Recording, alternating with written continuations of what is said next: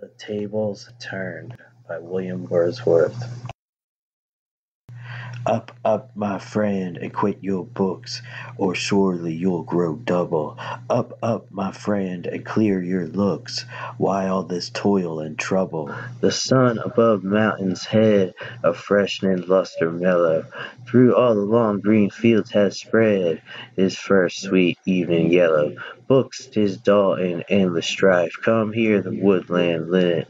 How sweet his music on life! There's more wisdom in it. And hark how blithe the throstle sings, and he is no mean preacher. Come forth into the light of things, let nature be your teacher.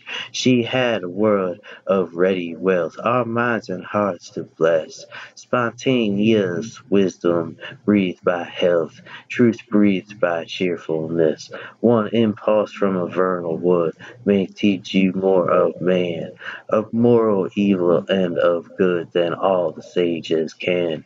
Sweet is the lore which nature brings, our meddling intellect misshapes the beauteous forms of things we murder to dissect. Enough of science and art, close up these barren leaves. Come forth and bring with you a heart that watches and receives.